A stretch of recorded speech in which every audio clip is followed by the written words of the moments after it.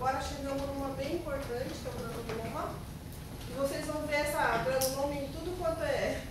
Ad náusea, eu vou falar de, falar de granuloma para vocês durante a graduação, porque tem diversas doenças que o granuloma é importante. Quem sabe me dizer o que é o granuloma?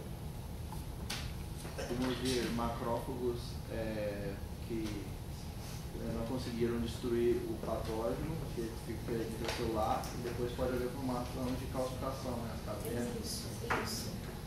Então, então é um, quando é que ocorre? Então, quando você, de alguma maneira, você, o seu organismo, aquele organismo em questão, encontra um patógeno que ele não consegue debelar. Então, assim, já que eu não consigo debelar, vou tentar pelo menos isolar, né? Então, é, tem esse artigo que eu passei para vocês, então, eles falam assim, será que o granuloma é protetor mesmo? Quanto que, quanto que o granuloma consegue debelar uma infecção? Quanto que a, forma, a própria formação do granuloma já não ajuda a bactéria a, a, se a, a sobreviver ou, ou, se expandir? Né? Então, esse artigo é, um artigo bem bacana para vocês verem da Nature que sai esse ano. E, e, o comecinho dele é bem bacana que ele dá uma, uma revisão dos mecanismos de formação de granuloma. Então, aquele macrófago que está lá, com aquele antígeno persistente que ele não consegue dar conta, ele fica tão, assim, tão ativado que ele se especializa. Como é que chama essa célula? Como é que chama esse macrófago do granuloma? Não chama só macrófago. Como ele chama? Pensar? Chama célula epitelioide. Ele fica tão grande citoplasma tão rosa que os primeiros patologistas que olharam falaram, meu, parece uma célula do epitélio. Chamaram de célula epitelial. Já era muita confusão, porque de, de epitélio não tem nada, é um macrófago. E ele passa a fazer uma, uma, Com os amigos dele numa estrutura que parece um zíper, assim, uma adesão muito grande, para justamente circunscrever né, o antígeno. E tudo isso orquestrado por linfócitos. Tá? Quem orquestra as citocinas ali dentro, que vão regular esse processo, são os linfócitos. Que a gente vai ver um pouquinho aqui. Exemplos de doenças granulomatosas. Tuberculose é o clássico, né? O clássico das doenças granulomatosas. Alguma coisa mais? Doença de Crohn.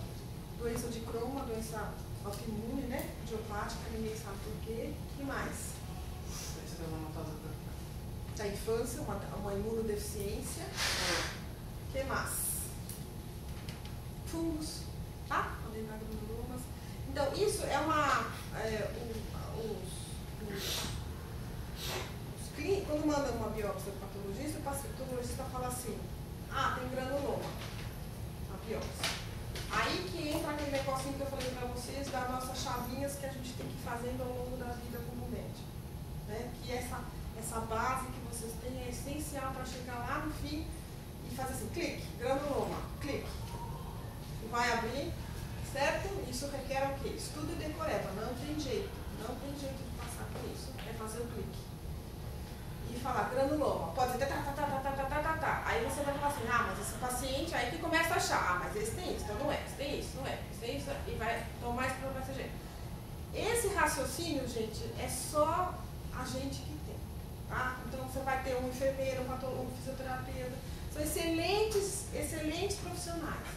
Mas é esse clique, tem que, essa, essa coisinha que tem que fazer na cabeça é a gente. Então, não adianta, tem que estudar. Bom, vamos lá. E aí, é, ativação células T, ativação de macrófago, destruição do cilar. Né? Super importante esse granuloma acaba destruindo o tecido. Robin, os Robins velho era muito legal. Os Robins antes de, de, de agora, ele, ele sempre fazia umas piadinhas assim no meio. Então ele falava assim, ah, você para matar um bicho é como se você jogasse uma bomba dentro da casa. Né? Matar barato, você joga uma bomba. É isso que o granuloma acaba fazendo. Para você matar aquela bactéria, você acaba destruindo o seu pulmão né? Não consegue matar. Né? Não consegue matar. Outra coisa que é super importante no granuloma depende muito da imunidade do, do host, né? do, do hospedeiro. Né? Exemplo clássico. Que a imunidade faz toda a diferença numa doença. A pessoa não né? Na não pós-crânica, essa espécie ativa de oxigênio. Por isso que está no granuloma. Isso. E, e, e depende, então, para você formar o granuloma, imunidade está competente. Você não consegue deter lá aquele organismo, mas você tem que ter imunidade, certo? Formar um granuloma é uma coisa que requer um certo. Não é fácil. Você tem que ter toda aquela orquestração de linfócito, macrófagos, toxina, né? tem que estar tudo mais ou menos. Quem é que não tem isso? Então, exemplo clássico de doença devastadora, AIDS, TB. AIDS e Foi o protótipo, foi a recrudescência da TB no mundo, gente, quando apareceu a AIDS. Por quê? Tudo isso que eu vou falar aqui para vocês, o aidético não faz. Então a bactéria. Né? Então, assim, qual é a causa de morte do aidético, se for para a África? TB. Ah? Quantos por cento do aidético faz TB no Brasil? Tipo 80%. Né? Faz TB reativo, assim, 80%. Então, lembrar que você formar um granuloma requer muito da sua. Tá? Outro, opa, outros exemplos. Tuberculose, mal de Hansen, sífilis, sarcoidose. Sabe o que é sarcoidose? É uma doença pulmonar que faz um monte de granuloma e você não acha a causa. Tá? É uma doença idiopática. Um corpo estranho faz um granuloma. Tá bom? Então, ó, definição. Foco de inflamação crônica consistindo de um agregado microscópico de macrófagos que se transforma em células epiteliais circunscritos por uma rima de linfócitos e plasmócitos.